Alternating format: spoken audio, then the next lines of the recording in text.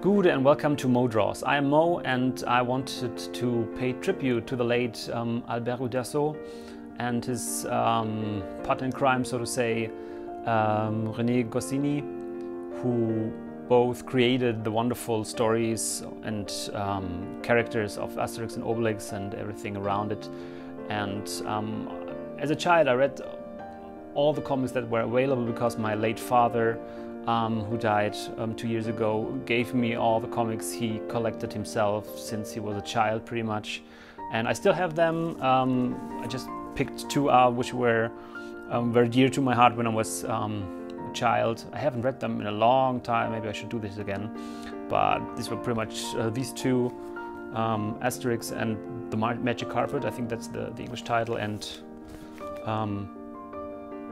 Asterix in Switzerland I haven't looked that up, so might be wrong, but I guess the covers are iconic enough to, to recognize them if you read them. If you, if you haven't, you really missed out. You should uh, pick a copy up. There. These are pretty cheap, I guess.